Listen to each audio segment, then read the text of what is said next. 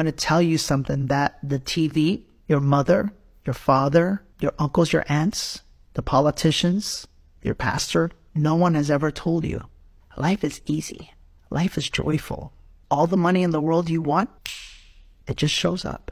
A loving relationship you've been looking for, it just comes. Those extra 10 or 15 pounds or that illness you've been looking to shake, it's gone. Because that's how powerful you really are.